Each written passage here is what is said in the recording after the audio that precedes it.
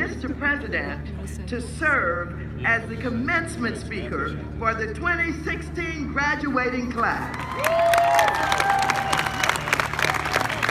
And so, President Clinton, Madam Secretary, welcome to Loyola